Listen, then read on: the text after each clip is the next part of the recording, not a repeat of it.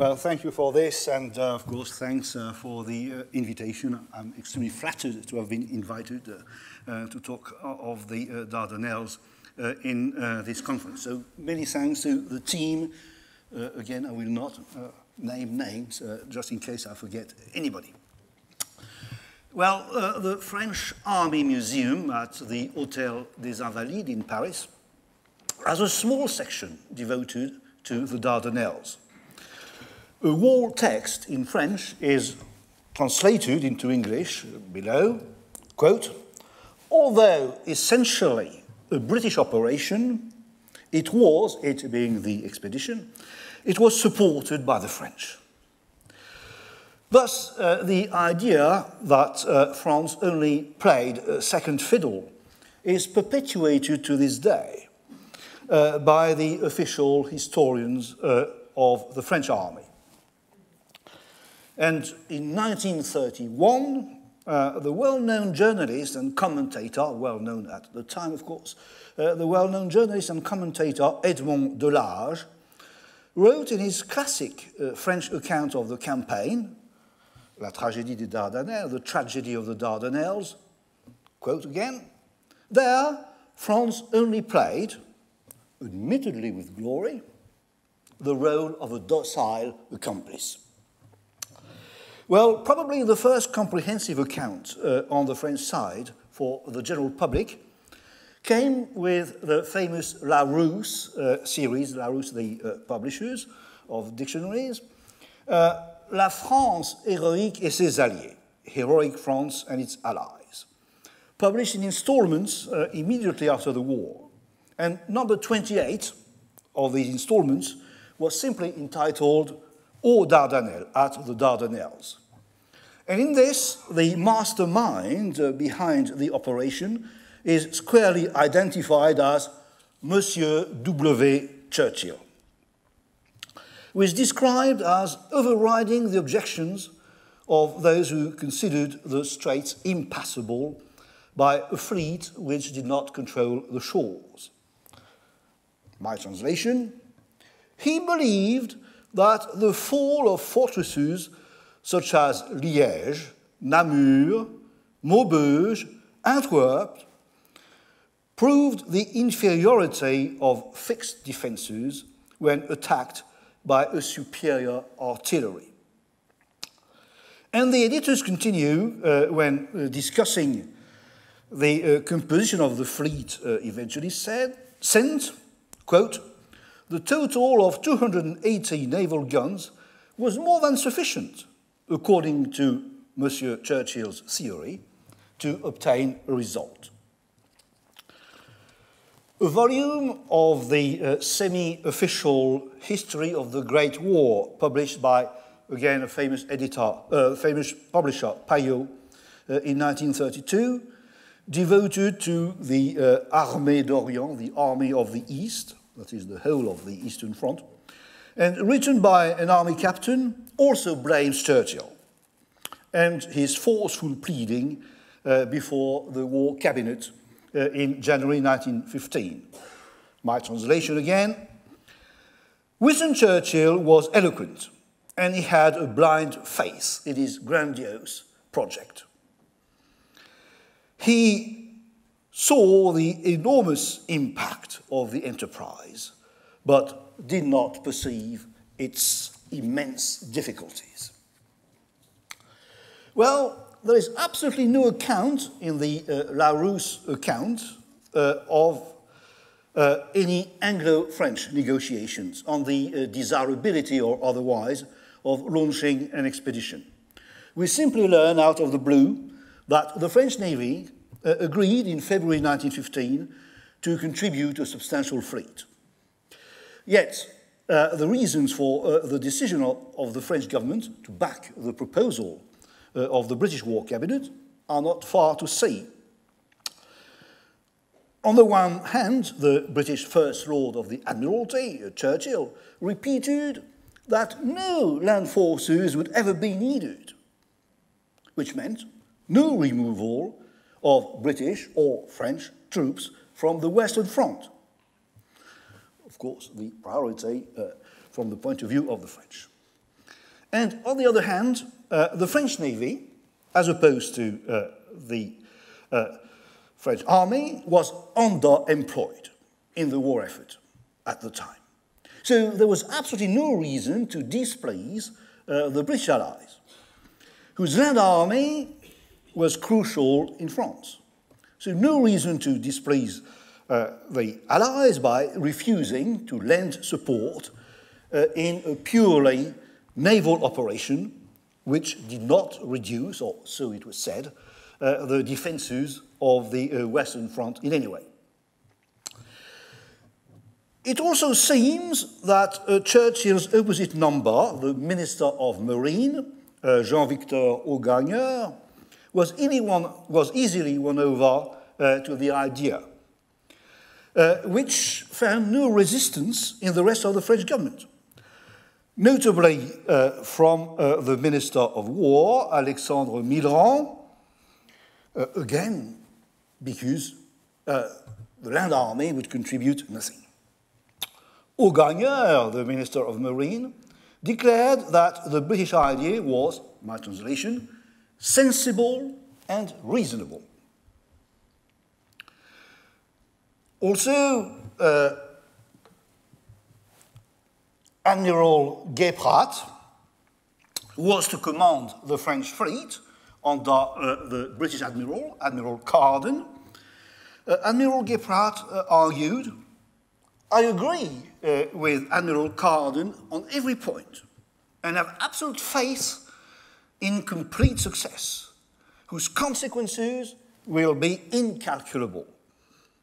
So, a French fleet uh, was sent uh, from uh, southern France and uh, French North Africa uh, under Admiral Guépratte to form an Anglo-French force commanded by Admiral Carden. The proportion was three British divisions to one French. In other words, uh, the French provided one fourth uh, of uh, the whole force. And that force started to bombard the Turkish uh, forts on uh, the 19th of February 1915. Uh, As is well known, on the 5th of March, it was realized that it would never be possible to destroy or neutralize all the forts uh, guarding the straits by naval bombardment alone. Raids on land would have to be launched to uh, reduce them one by one. Well, uh, on the 12th of March, General Sir Ian Hamilton was appointed commander-in-chief of these land forces and sent to the area. But it was decided to proceed with a naval attack without waiting for the arrival of the troops. And on the 17th of March, uh, the French admiral, Guépratte, and uh, the French commander of the land forces, uh, General d'Amade, met the British commanders in charge of the operation uh, on board HMS Queen Elizabeth, moored at Tenedos. Sir Ian Hamilton and Admiral de Robeck, who had succeeded uh, Carden, who was taken ill, uh, welcomed uh, French cooperation. In fact, Admiral Guépratte required the honor of providing the front line of ships, which was granted. On the 18th of March, uh, the warships Bouvet, uh, Charlemagne, Gaulois, and Suffren entered the straits. But the Gaulois was hit by a shell, and the Bouvet uh, ran against the mine, sinking in less than two minutes uh, with some 600 men. Only uh, 65 survived. The British ships which followed were also seriously hit, but their men were rescued. So, uh, the most uh, grievous, uh, um, grievous losses had been suffered by the French, uh, with the instant tragedy of the Bouvet. In the late afternoon, Admiral de Robeck called off the operation. The Larousse uh, publication makes much of the telegram uh, that he sent to the Admiralty. I wish to draw the, the attention of the Lords of the Admiralty on the magnificent behavior of the French squadron. The heavy losses which it suffered did not reduce the boldness of its crews. It was led into battle by Admiral Guépratte with the utmost gallantry.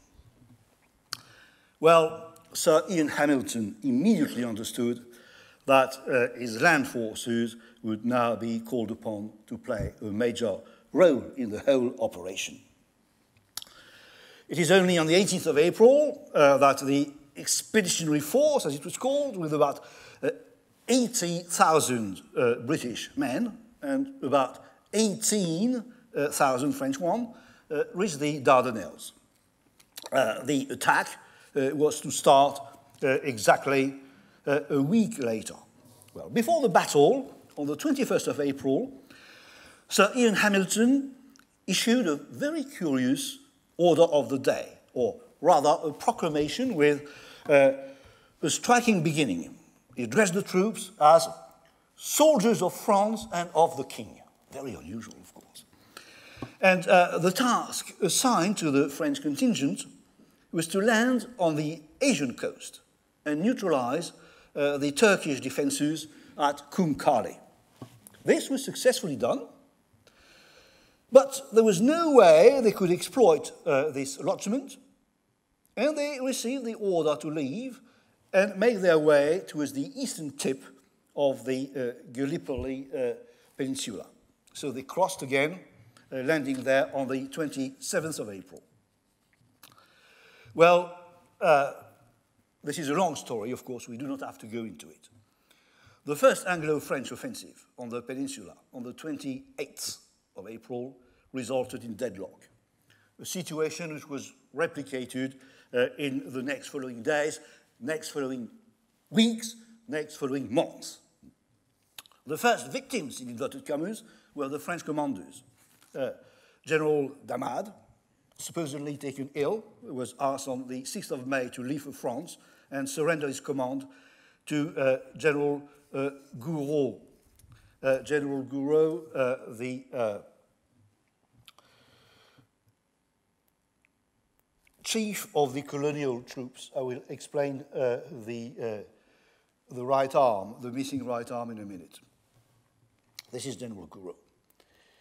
Uh, his force was largely composed of West Indians from Martinique, of Zouaves from North Africa, and uh, Tirailleurs from Senegal, with a number of men from the Foreign Legion. On the 9th of May, Admiral Guépratte was also dismissed to be replaced by Admiral Nicol. Now, uh, I go into this because two contradictory remarks can be made uh, in this uh, connection.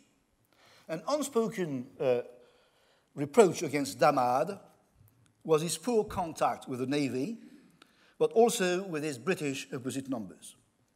Whereas Guépratte was widely seen as an Anglophile, an Anglophile being a glaring exception in the French Navy.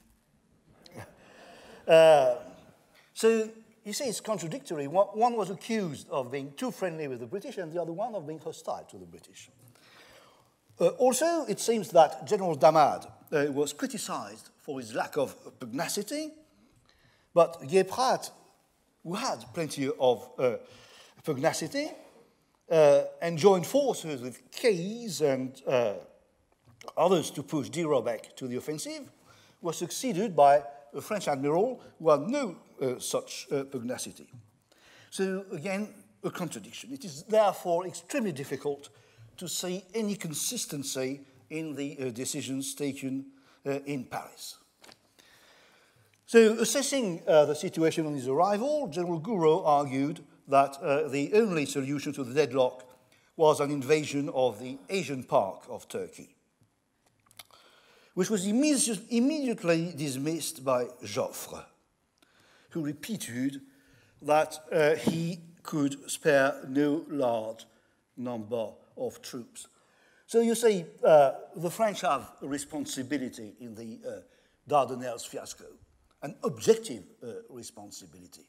That is, uh, Joffre never yielded uh, on the principle that no troops should be withdrawn from the Western Front. Uh, in other words, uh, by insisting uh, that uh, the uh, Dardanelles should remain uh, a small force, of course, he, in a way, condemned uh, the uh, operation to, uh, at least the land operation, to failure. The fighting was fierce, so fierce that General Gouraud lost an arm. Now, one characteristic of the Dardanelles, which is not of, often uh, insisted, insisted on, is that on the French front, the Western front, the Belgian, the Belgian front, the generals were in the rear, safe in the rear. In the Dardanelles, there was no way you could be in the rear. The rear was the ships. Uh, you, in fact, Sir Ian Hamilton commanded apparently from a ship. He was not uh, on land. Uh, so Gouraud uh, was on land and exposed uh, to fire uh, from the Turks. And he lost an arm from, from a shell. the, he was hit, not by a direct hit, of course, but by, he was hoisted by an explosion, hoisted onto the, the branches of a fig tree, which uh, sounds laughable. Uh, but uh, of course, he had to have an arm uh, amputated. Another general uh, died of his uh, wounds uh, on the 12th of July, and still another general uh, lost uh, his, his life. So you see, the Dardanelles took a heavy toll on French generals, which was again different from the experience of the Western Front. So there was a sort of solidarity the men uh, should have uh, been sensitive to that solidarity. But in practice, the morale uh, of uh, the men was extremely low. And here we have uh, a drawing from a man uh, who was an official artist uh, sent uh, to uh, the Dardanelles. He was part of the staff of General Gouraud. And obviously, when you see that, you, you think that the fighting spirit of the French troops uh, uh, was absolutely nil. Uh, they are exhausted, of course, exhausted, also attacked by insects, by flies, by vermin, by also suffering from the poor food, uh, and above all, the strictly uh, rationed uh, water supplies.